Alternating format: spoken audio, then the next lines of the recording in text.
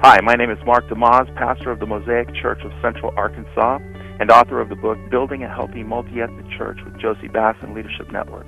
I wrote the book Building a Healthy Multi-Ethnic Church with the concern that individuals, church planters, and reformers establish multi-ethnic churches built on the solid foundation of the Word of God, the theology of the New Testament multi-ethnic church, a church in which Jew and Gentile walked, worked, and worshiped God together as one.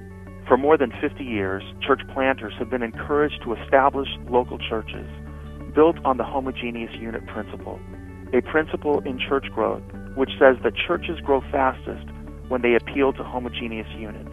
While churches do indeed grow fastest when they are homogeneous, I'm not so sure they grow biblically.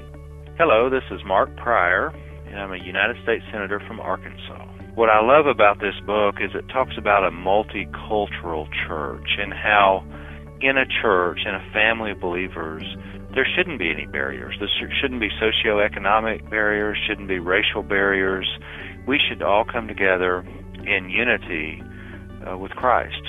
For more than 100 years, 11 o'clock on Sunday morning has been called the most segregated hour of the week. Despite the integration of public schools, the workplace, and neighborhoods, the local church stubbornly clings to homogeneity. The church should be a place where there's unity and there's hope. A church should be a, a, a role model and an example to the rest of the world.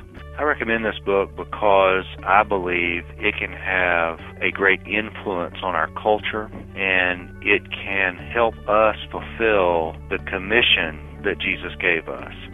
In the 21st century, it will be the unity of diverse believers walking as one in and through the local church that will proclaim the fact of God's love for all people more profoundly than any one sermon, book, or evangelistic crusade.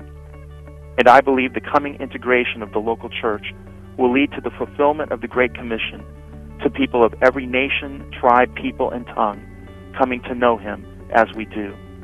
This is the core of the book's message. This indeed is the prayer of Christ.